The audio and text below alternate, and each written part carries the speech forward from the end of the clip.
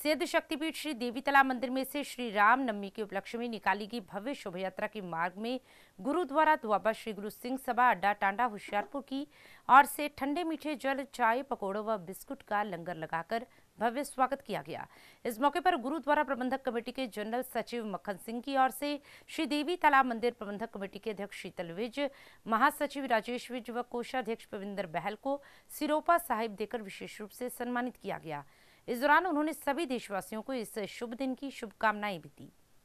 ਦੇਵੀ ਤਲਾ ਮੰਦਿਰ ਤੋਂ ਜੋ ਹਰ ਸਾਲ ਰਾਮਨਾਮੀ ਦੇ ਸ਼ੁਭ ਯਾਤਰਾ ਇਹ ਚੱਲਦੀ ਹੈ ਔਰ ਸ਼ਿਕ- ਸ਼ਕਤੀਪੀਠ ਦੇਵੀ ਤਲਾ ਇੱਕ ਜਲੰਧਰ ਦੀ ਸ਼ਾਨ ਹੈ ਔਰ ਸਾਰੇ ਹੀ ਇਲਾਕਾ ਨਿਵਾਸੀ ਉੱਥੇ ਬੜੇ ਮਾਤਾ ਦੇ ਦਰਸ਼ਨ ਕਰਦੇ ਹਨ ਔਰ ਆਪਣੀਆਂ ਮੰਨਤਾਂ ਪੂਰੀਆਂ ਕਰਦੇ ਹਨ ਔਰ ਪ੍ਰਬੰਧਕ ਕਮੇਟੀ ਗੁਰਦੁਆਰਾ ਦੁਆਬਾ ਸ੍ਰੀ ਗੁਰੂ ਸਿੰਘ ਸਭਾ ਵੱਲੋਂ ਹਰ ਸਾਲ ਨੌਮ ਰਾਮਨੌਮੀ ਦੇ ਇਸ ਅਵਸਰ ਤੇ ਸ਼ੋਭਾ ਯਾਤਰਾ ਤੇ ਪਾਣੀ, ਜਲ ਦੀ ਸੇਵਾ, ਚਾਹ ਦੀ ਸੇਵਾ, ਬਿਸਕੁਟਾਂ ਦੀ ਸੇਵਾ ਅਤੇ ਹੋਰ ਵੀ ਜੋ ਵੀ ਇੱਥੇ ਗਤੀਵਿਧੀਆਂ ਇਹ ਧਾਰਮਿਕ ਪ੍ਰੋਗਰਾਮਾਂ ਚੱਲਦੇ ਰਹਿੰਦੇ ਹਨ ਔਰ ਹਲਚਲ ਵਾਲਿਆਂ ਦਾ ਅਸੀਂ ਖਾਸ ਕਰਕੇ ਧੰਨਵਾਦ ਕਰਦੇ ਹਾਂ। ਜਿੰਨੇ ਵੀ ਇਹ ਧਾਰਮਿਕ ਪ੍ਰੋਗਰਾਮ,